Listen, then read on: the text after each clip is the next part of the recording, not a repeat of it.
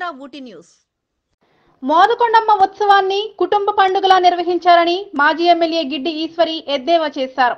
పోలీసుల ఆంక్షలతో భక్తులు ఇబ్బందులకు గురయ్యారని ఉత్సవాల నిర్వహణలో పూర్తిగా విఫలమయ్యారని విద్యుత్ దీపాలంకరణతో సహా సాంస్కృతిక కార్యక్రమాలు ఏవీ బాగోలేదని ఒక అన్న ఒక చెల్లి ఒక భర్త వైఎస్ఆర్సీపీ మోదుకొండమ్మ జాతరలా జరిపారని గిడ్డి ఈశ్వరి విమర్శించారు.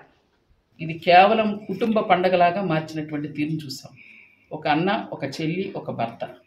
ఇది వైఎస్ఆర్ పార్టీ మోదకొండమ్మ జాతరలాగా మొన్న పండగ జరగడం జరిగింది. ఎందుకంటే దీంట్లో ప్రధానంగా అమ్మవారి ఘటాలు అమ్మవారికి ఏదైతే ప్రతి ఒక్క భక్తుడు అమ్మవారి పాదాలు కానీ అమ్మవారి యొక్క విగ్రహాలు కానీ ఘటాలు కానీ తల మీద మోసుకొని తమ యొక్క కోరికలు తీర్ తీర్చుకోవాలన్నటువంటి తపన పడి నలుమూలల నుంచి వచ్చినటువంటి ప్రజానీకం ఏ ఆశపడతామో పూర్తిగా అమ్మవారికి సంబంధించినటువంటి దర్శన భాగ్యం కానీ అక్కడ ఘటాలు ఎత్తుకునే విషయంలో పూర్తిగా ఇప్పుడున్నటువంటి స్థానిక ఎమ్మెల్యే ఆధ్వర్యంలో జరిగినటువంటి పండగ ఫెయిల్ అయిందనే మేము చెప్తా ఉన్నాం.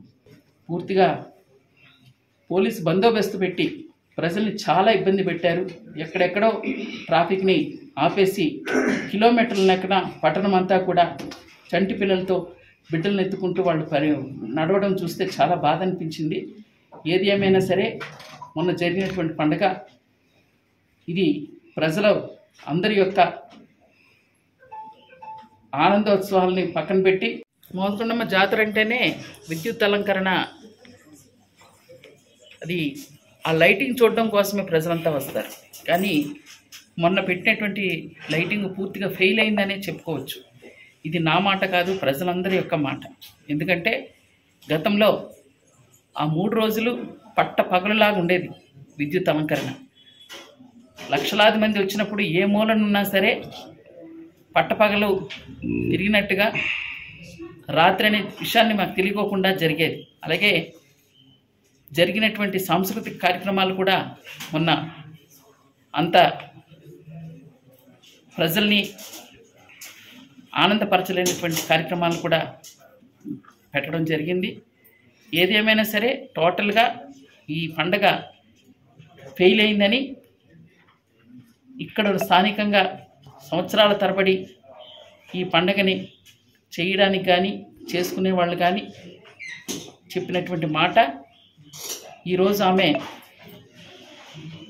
ఆలయ కమిటీ చైర్మనే కాదు ఉత్సవ కమిటీ చైర్మన్గా కూడా ఉండి కేవలం వైఎస్ఆర్ పార్టీ ప్రోటోకాల్ని వాళ్ళ మంత్రుల్ని వాళ్ళని తీసుకొని వచ్చే వాళ్ళు పండగ చేసుకున్నారు. కానీ ప్రజలకి ఇక్కడ ఉన్నటువంటి స్థానికంగా గతంలో చేసినటువంటి రాజకీయ నాయకులు కానీ ఎవ్వరికీ కూడా కనీసం పిలుపు లేకోకుండా ప్రోటోకాల్ లేకోకుండా కనీసం ఇన్విటేషన్లో కూడా వాళ్ళు ఎవరికి ప్రస్తావించుకోకుండా ఇది కేవలం వైఎస్ఆర్ పార్టీ పండుగలా చేసుకోవడం బాధాకరం అని చెప్పి సందర్భంగా తెలియజేస్తూ ఇటువంటి పండుగల్ని దయచేసి చేయొద్దండి. ఇది ప్రజలందరి పండుగ. అమ్మవారు అందరికీ ఆరాధ్య దైవమే. అమ్మవారిని ప్రజలందరికీ చేరువుగా తీసుకెళ్ళాలని పండగని అందరూ సమన్వయంతో చేయాలని చేసిన వారికి మరొకసారి తెలియజేస్తున్నాను థ్యాంక్ యూ ఆంధ్ర ఊటీ విశాఖ ఏజెన్సీలోని వార్తా విశేషాలను ఎప్పటికప్పుడు మీ ముందుకు తీసుకువస్తున్న ఆంధ్ర ఊటీ న్యూస్ ఛానల్ను లైక్ చేయండి షేర్ చేయండి సబ్స్క్రైబ్ చేయడం మర్చిపోకండి.